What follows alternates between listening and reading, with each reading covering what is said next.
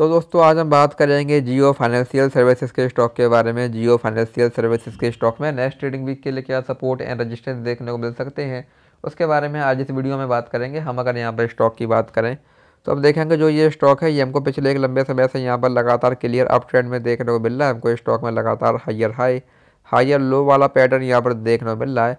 हमको यहाँ पर स्टॉक में बीच बीच में यहाँ पर गिरावट भी देखने को मिली, लेकिन स्टॉक ने कभी भी अपने प्रीवियस लो को ब्रेक नहीं किया और हमको स्टॉक में लगातार तेज़ी ही देखने को मिली है। आज भी हमको यहाँ पर स्टॉक में one point seven four percent की यहाँ पर तेज़ी देखने को मिली है।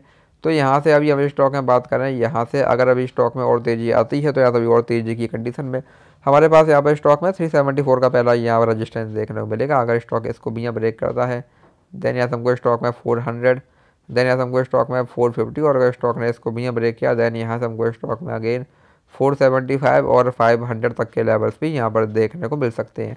तो वहीं यहाँ से अगर स्टॉक में गिरावट आती है तो यहाँ सब गिरावट की कंडीशन में हमारे पास यहाँ पर स्टॉक में थ्री फोर्टी सिक्स का पहला यहाँ पर सपोर्ट देखने को मिलेगा। अगर स्टॉक ने इसको ब्रेक किया देन यहाँ से हमको स्टॉक में three twenty two and then यहाँ से हमको स्टॉक में अगेन टू नाइन्टी फोर तक के लेवल्स भी यहाँ पर देखने को मिल सकते हैं एज ए नेक्स्ट यहाँ पर सपोर्ट तो ये स्टॉक में कुछ इंपॉर्टेंट लेवल्स हैं, आप इन पर ध्यान दे सकते हैं। बाकी वीडियो में कोई बाय सेल होल्डिंग सलाह नहीं है, वीडियो केवल एजुकेशनल पर्पज़ के लिए है, धन्यवाद।